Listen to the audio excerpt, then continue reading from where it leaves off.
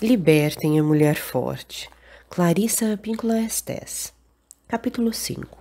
Levanta-te, mesmo depois de um derramamento de sangue, diz La Conquista. Nossa Senhora dos Conquistados. Massacre dos Sonhadores. A mãe do maíz. Sonhos. Ainda nos levantaremos. Se as pessoas parassem de ter sonhos ousados, os atos ousados também desapareceriam da terra. Sonhos impetuosos são o combustível principal para o motor do fazer. Sonhos impetuosos são o rastilho dourado para a força vital de ser. Se não puder ser sonhado, não poderá ser feito. Levanta-te. Não te precipites, mas semeia por toda parte os sonhos mais belos, os mais impetuosos rugidos pela alma.